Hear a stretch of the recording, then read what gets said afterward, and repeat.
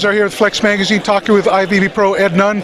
Ed, uh, we just finished the uh, Arnold Classic. Tuesday, you're leaving to Australia for the Australian Pro. What's going on between now and then? Well, uh, starting with six o'clock tomorrow morning, right? Start at six in the morning, up at six in the morning. Well, 5 a.m. to eat, and then start my day.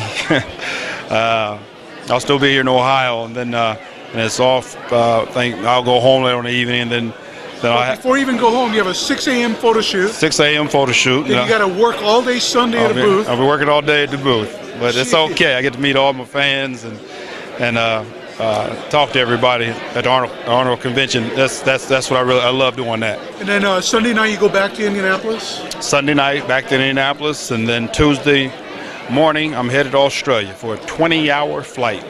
So what are you doing Monday? Just sitting there watching TV all day?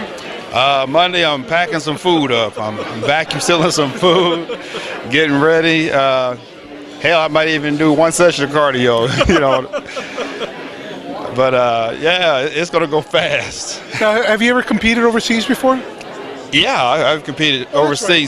several times. Uh, gosh, I competed over in Madrid, Spain, two times at Arnold Classic Europe.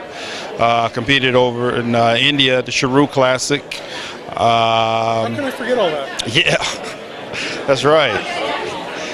Well, it should be a good show. It's going to be almost a repeat of what's going on here. But uh, what I want you to do is go back, reset your mind, have a little bit of fun. I'll see you in Australia. Go out there and kick ass for sand, brother. Oh, yeah. Sand all the way, baby.